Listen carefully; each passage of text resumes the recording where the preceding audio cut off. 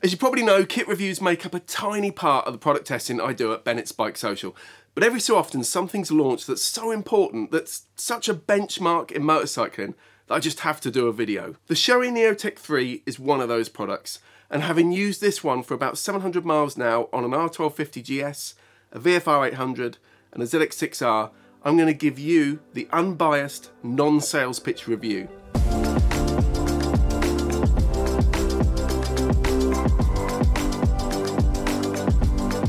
And most of the videos I do are based on a combination of the hundreds and hundreds of written reviews at bikesocial.co.uk, so please do always check there before buying anything.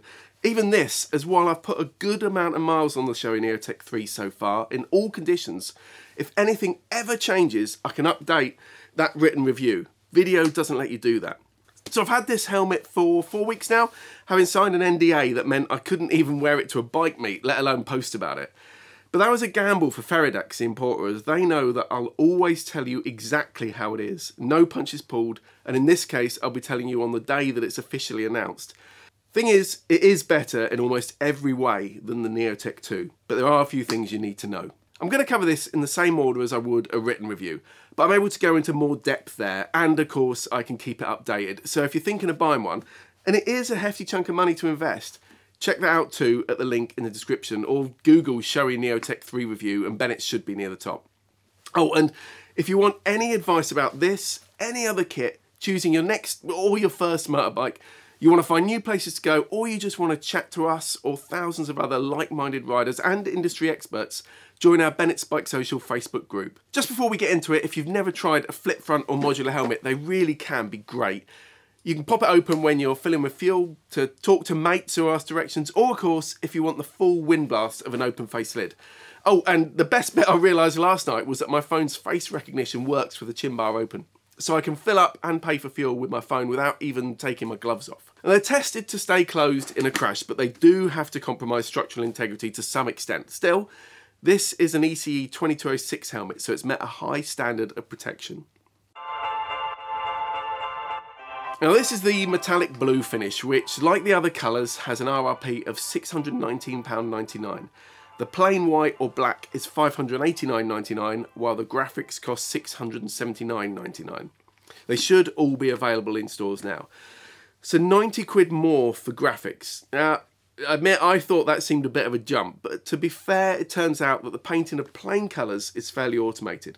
The graphics have to be applied by hand and any tiny imperfections are all finished by brush before the clear coat. So that's every single helmet.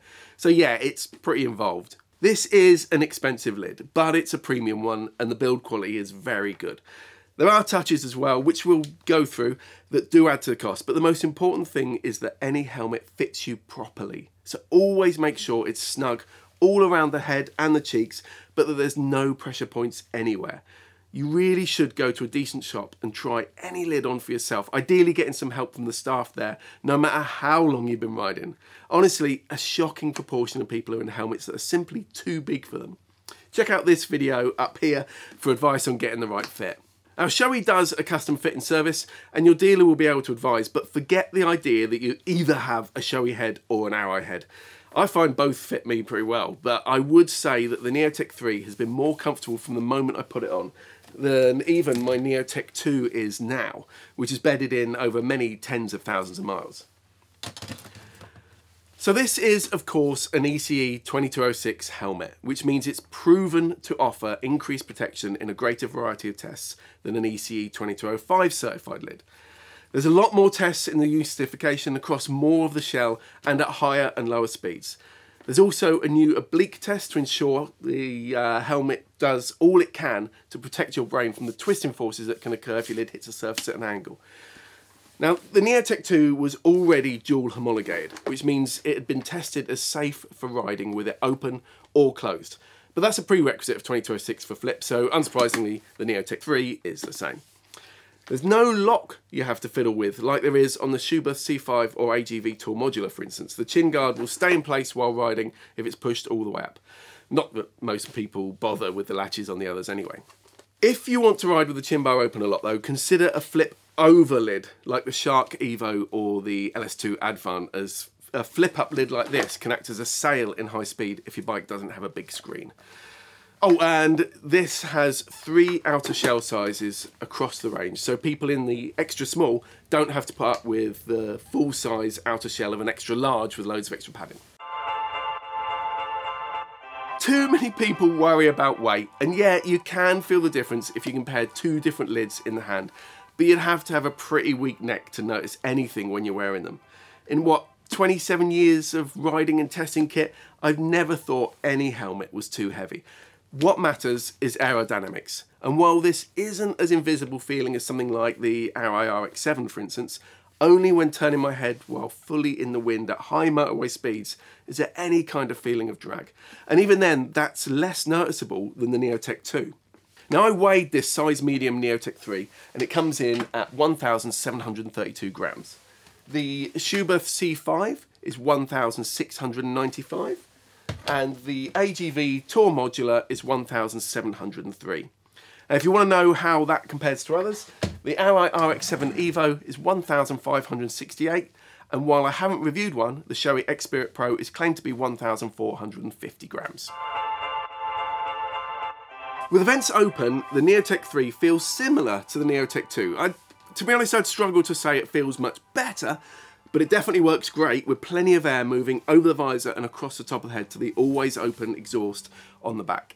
And with everything shut, it's still very still inside, but Shoei has put these two small cutouts in the visor seal to make sure air can still get out. And there's more air control though in the new lid, with a two-stage or closed chin vent instead of just open or closed, and the top vent is a lot easier to use than the old one, which got quite stiff over time. The chin's got a new bug guard in it, and you can pop it out for cleaning, though there's not a guard in the top like on the C5, which you can also take to bits for cleaning. That airflow's really good on the top with even the screen up on the GS. But if you sat behind the screen, you will of course have limited flow through the chin. You can pop the chin skirt out, or it's really easy to crack the visor open. Or of course, you can ride with the whole front up, which can be great in town especially. The nose guard is removable and cleverly it now blows up across the inside of the visor and to your cheeks. Though if your head's directly in the wind, this can feel a little bit tickly on your face at very high speeds. Take it off and all the air goes straight up and to your brow. Now, because I wear glasses, ventilation is really important to me, but in any lid, I'll often ride with the visor just cracked open for a bit more air. Depends really what I'm riding and the, what the weather's like. Anti-fog coatings don't tend to work on the anti-reflective coatings of specs, so if you've found a good solution, a good, a good fluid to put on there, please pop it in the comments below. Now I tested the Shoei Neotec 3 in really heavy rain for three hours and it's to be expected that some fine water spray is going to reach the visor with the open chin vent. But it cures that. With the top vent open, small amounts of water can make their way down the inside of the shell, over the sunshield and drip in front of your eyes before pooling on the bottom of the visor. Shutting this vent pretty much stops it, but I did find that in that really, really heavy prolonged rain, some water did manage to find its way into the closed vents and trickle down.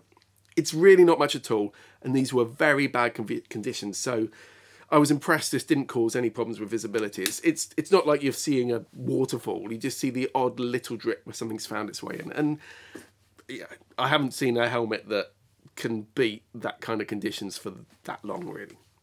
Oh, I should say though that the sun shield did need some of the watermarks cleaning off, uh, but you can take it out if you want to. Makes it it's easy to clean. Now this is an all new visor, so if you come in from the Neotec 2, the old one won't fit. There's now a central tab, which I love. as It's easier to get at with your right hand when you're holding the clutch in, and it now locks down securely, which creates a very tight seal around it. The lock's really easy to use uh, once you get used to it, and you can pop it just open have it about 5 mil open at the first ratchet or set at any point right up to the top. At high speed, if you're using any of the middle ratchet points, it can close itself. But if you have the visor fully open, it stays there.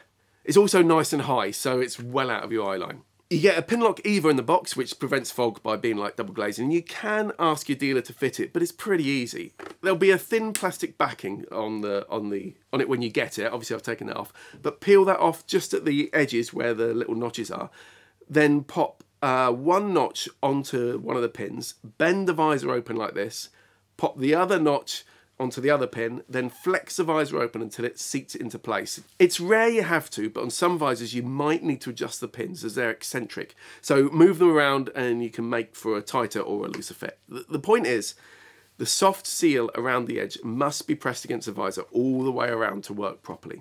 And to take it out, just bend the visor open and lift it out of one of the notches on, on, the, on one side first. Once you've got the hang of it, it's much easier to clean your visor, so it's worth having a go at. Fitting and removing the visor itself is the same as other Shoeis. You just pull forward a bit while holding the release lever. Now, after at least two hours in very bad rain, with all the vents shut and the chin skirt fitted, the Pinlock did start to miss just on the surface at the very outside edges, but it cleared quickly with the vents open. Very bad conditions for a long time can affect anything, but the small vent holes in the visor seals seem to stop it getting really bad. And last thing on the visor, the drop-down sun shield on the Neotec 3 comes down 5mm more than the old one, but it looks more in use um, because there's, there's much less light leaking around the bottom. It's just off the bridge of my nose and it's got a much smaller gap of light all along the bottom when riding. And this really is a big improvement, especially over the last one. Uh, and in variable conditions, the fact that only the very bottom ridge of the external visor is visible, which diffuses the light to itself as well, means it's one of the closest sun shields I've used to having a dark main visor instead. Now the Neotec 3's lining's quite different to the Neotec 2. That was comfy, but this is next level for me. The neck skirts are a little longer for better sealing, though to be honest you need to have it pointed out to spot it but all of the lining's removable right down to the strap covers, so it's easy to wash. You should do that by hand, but I just pop it all in a helmet bag, then put it in a gentle machine wash. But don't blame me if that goes wrong though. In my three hour ride through heavy rain, I did find that water had whipped its way up around just the bottom of the lining, just a little bit, but I didn't notice it until I took the lid off. I should have stood it on a towel, not a glass top table when I got home. It was, it was still damp the next morning but it wasn't uncomfortable and it didn't spoil the ride even for the first few miles while it dried out. The Neotec 3's ratchet chin strap has been redesigned to be narrower for a more comfortable fit. To be honest, it doesn't feel that different to me, but that 4.5mm might make a difference if you didn't like the last one. Some riders do only trust a traditional double D ring fastener, but those are almost impossible to use with gloves on. And the safety and security of these micro ratchets has been well proven, so don't be afraid to make the jump to something that's a lot more convenient. Right, I didn't find the Neotec 2 to be a particularly noisy helmet, and I'm certainly not the only one, but I am aware that some people thought it was. The thing is, the biggest cause of noise on any lid is buffeting from your bike's fairing and screen, which is impossible for any helmet brand to test for really because there's so many variables. What I can say is that on the VFR 800 and the ZX6R, which leave my head in the airflow, the new Shoei Neotec 3 is certainly quieter than the Neotec 2, thanks in part to the smaller gap at the uh, rear edge of the chin section where it meets the main shell. Now noise obviously increases when the vents or visor are open, but no more than anything else that I can tell. And on the R1250 GS, I had no trouble with any drumming or other noise, whether the screen was up or down. And I do have the original standard BMW screen on there. Look, you must wear earplugs when you're riding at anything above 40 mile an hour. I just get mild tinnitus after riding without them in my early years, and that's annoying enough, so I wish I'd known better. I'll put a link to an article about finding uh, the best earplugs up here and in the description. And when the Neotec 2 came out, the intercom for the Neotec 1 didn't fit it. And I'm sorry to say that the Neotec 3 uses a different intercom as well, the new SRL 3.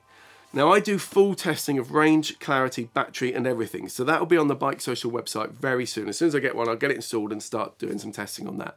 And those reviews also get posted on the Facebook group, so you can get notified of new ones quickly if you're on there. Anyway, the SRL3 will be a Bluetooth and mesh intercom to the best of my knowledge, and as it's made by Sena, it'll give great group comms to any other Sena mesh users, and should pair with new interphones too. Also, Cardo has added an update that means pairing through Bluetooth is a lot easier now with Senas. It's probably going to be about 350 quid, so it'll be a top spec one.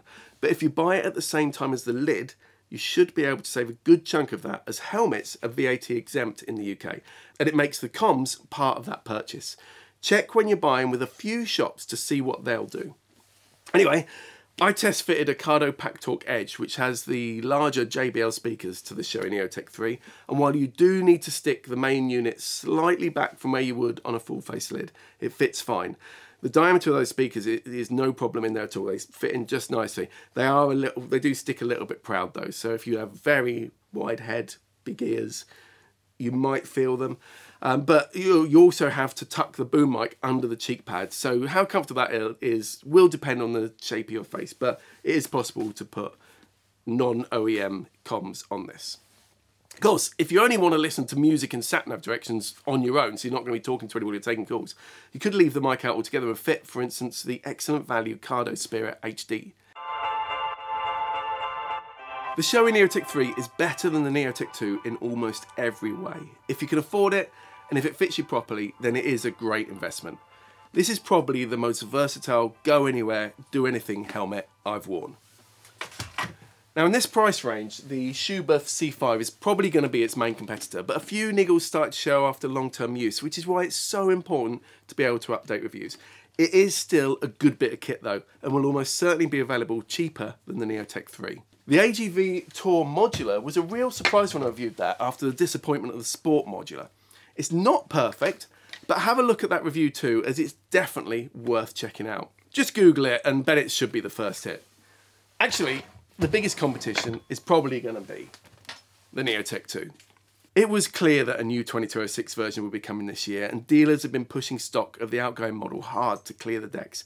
But don't feel you've missed out if you've just bought one. I can't be sure, of course, but there's nothing obvious that's changed in the new design to indicate much difference in the safety of the construction. So getting 2206 certification, that proves that this lid has been tested to more stringent standards than the older 2205 one. Uh, what differences are made, we can't, we can't know. Um, it doesn't change how this lid was. If you've just picked up a Neotec 2, it's still an excellent helmet. If it's time to upgrade though, and you like the old one, you'll almost certainly absolutely love the new model. And if you're still hanging on to an original Neotec, it's definitely time to treat yourself to the new one. If this has been useful, please do hit the like button as it really helps the channel. I don't use affiliate links and aren't in any way influenced in any of my reviews. I just want you to be able to make the right choices for yourself. Come and say hi at the Bennetts Bike Social Facebook group if you get a chance and let me know in the comments below what you'd like to see covered next.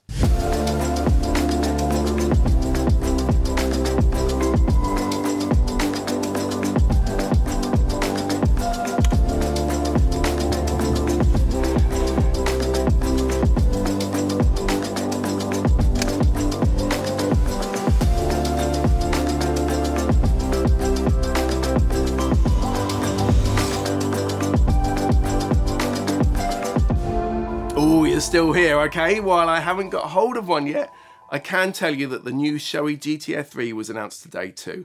It'll be available from the 6th of October starting at £479.99 with graphics costing £589.99. It's basically Shoei's answer to people who want a touring helmet that's not a flip front. It's got a drop-down sun shield, the same new strap as the Neotec 3 and the new locking visor with a centre tab.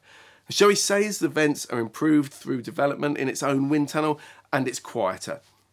It also takes the same new SRL3 com system as the Neotec 3. As soon as I can, I'll get you a full review, so make sure to keep checking the Bike Social website, and of course, hit subscribe to see more of our videos.